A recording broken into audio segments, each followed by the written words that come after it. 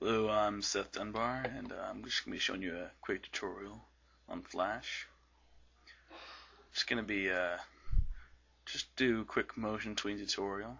First of all, I'm going to grab my brush, then I'm going to change the size of it over to a, e, no, that, that one, yeah. Alright, now I'm just going to draw a head, wait, let me move it over a little bit. Alright, now I'm just going to draw head of a stick guy. You know? I just think I'll just leave it as a head right now. I'm going to convert that to a uh, symbol. Yeah. Alright, I'll just bring it on down here. Yeah. Call it head. Alright. Now what we're going to do is we're going to go up to the um, go to the layers of frames here. Alright, now I'm going to go over to frame 10.